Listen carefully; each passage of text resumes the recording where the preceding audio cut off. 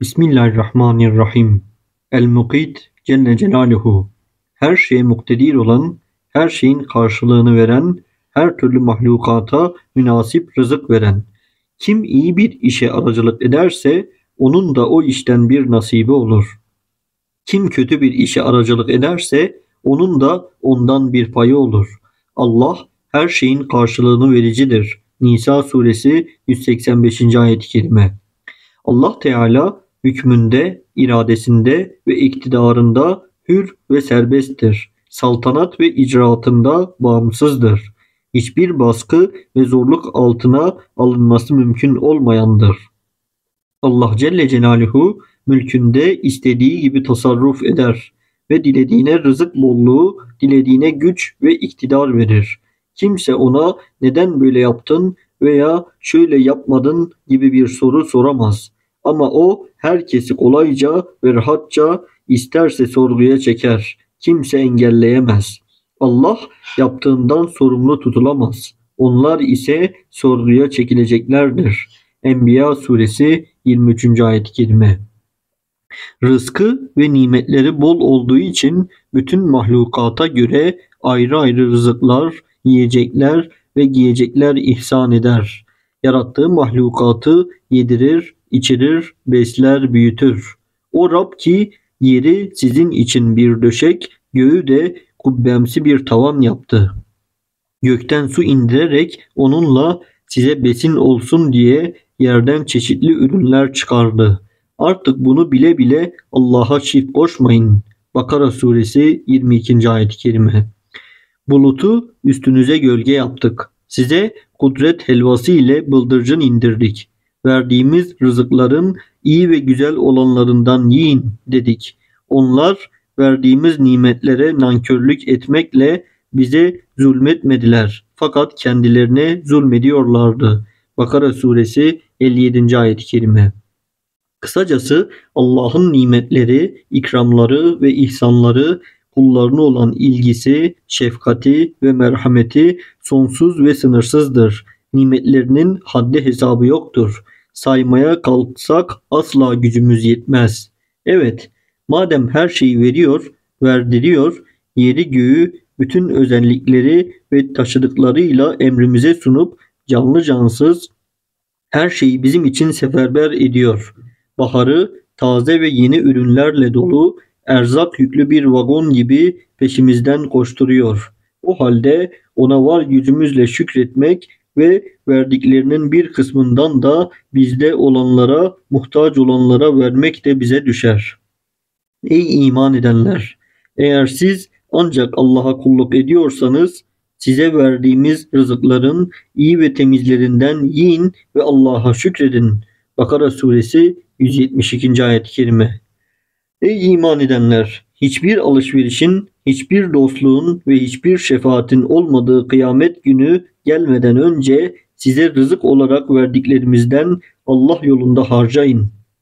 İnkar edenler ise zalimlerin ta kendileridir. Bakara suresi 254. ayet-i kerime. Ebced değeri ve zikir saati. El-Mukid isminin ebced değeri ve zikir adeti 550'dir. Zikir saati güneş, günü pazardır. Yani sabah erken, gün doğarken ve ikindi namazı sonrası. Sırları ve hikmetleri. Galibiyet elde etmek isteyen herkes ve özellikle askerler bu ismin gölgesinde Allah'a sığınmalı ve tertibine yani gününe, saatine ve miktarına uygun olarak zikrine devam etmelidir. Bu tertibi yerine getiren savaşçılar savaşlarında mutlak başarı elde ederler. Bu ismin zikrine devam ederek savaşırlarsa Allah'ın yardımı ile hiçbir zayiat vermezler. Bir kağıda yazılıp suyla bozulduktan sonra suyu tarlaya serpiştirilse tarlada mahsul bol ve bereketli olur. Oruç tutmak kendisine zor gelen, açlığa dayanamayan kimse yazıldığı kağıdı koklasa açlık hissi kesilir. Su dolu bir testiye 550 defa okunup üflense ve testinin üzerine veya kapağına el mukit yazılsa bu testinin suyundan içenler her türlü tehlike ve korkudan güven içinde olurlar. Bu sudan çok ağlayan çocuğa içirilse ağlaması kesilir. Bu ismin zikrine devam eden kimselerin rızkı bol olur. ihtiyacı olan her şeye sahip olur.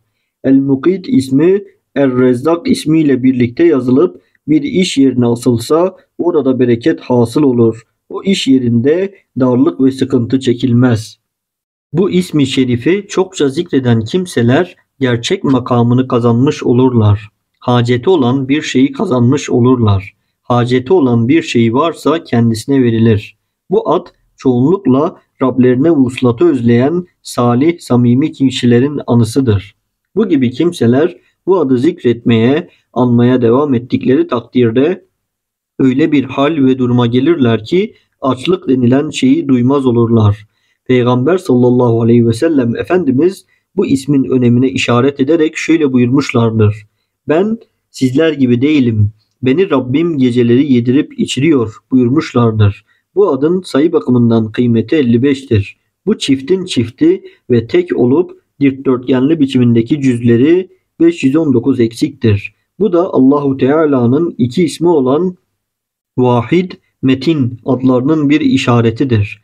Bu iki ismin ferdiyeti ikilememektedir. Çünkü Allahu Teala'nın diğer esmaları bunlardan türemiştir. Harflerinin adlarına gelince 683'tür. Bu da Allah'ın ilk ulu adı olan Mucid, Müntakım adlarının işaretidir. Bu ismi şerifi zikretmeye muvazebet eden kimsenin rızkı bol olur. İhtiyacı olan şeylerden herhangi bir eşyadan hiçbir noksan olmaz. Her şey fazlasıyla elinde mevcud olur. Bu ismi şerif bir gümüş yüzük üzerine nakşedilip üzerinde taşınır ise Cenab-ı Vacibül Vücut Hazretleri o kimsenin muini olur. Daima ona yardım eder. Bu ismi şerif Er-Rezzak ismi şerifiyle beraber bir kağıt üzerine yazılıp bir mekana, bir ticarethaneye, bir anbara, bir kasaya ya da herhangi bir buna benzer yerlere asılırsa o yerin bereketi artar biiznillahi teala. Her yaratılmışın rızkını ihsan eder. Bedenlerin ve ruhların gıdasını yaratıp veren, gücü yeten ve koruyan anlamındadır. Bu manaya göre mukit, rezzak manasınadır. Yalnız mukit, rezzaktan daha hususidir. Rezzak, azık olanı da olmayanı da içine alır. Çalışmanın sebeplere sarılmanın ibadet olduğunu bildiğimiz için çalışacağız. Çalışırken Rabbimizin rızasını gözetip isteyeceğiz. Bize uygun gıdamız bizim gölgemiz gibi bizi takip etmektedir. Ey insanlar! Allah'ın üzerinizdeki nimetlerini hatırınızdan çıkarmayın. Allah'tan başka gökten ve yerden size rızık veren yaratıcı var mı? Fatır suresi 3. ayet-i kerime. Birçok canlı rızkını kendi elde edemez. Sizin de onların da rızkını Allah verir. Ankebut suresi 60. ayet. Peygamber Efendimiz sallallahu aleyhi ve sellem buyuruyor. Azık isteyene vermemek kişiye günah olarak yeter. Müslüman gücü yettiğince yakın uzak ve güçlü zayıf ayrımı yapmaksızın muhtaç insanların ihtiyaçlarını karşılamaya çalışmaya çalışmalıdır.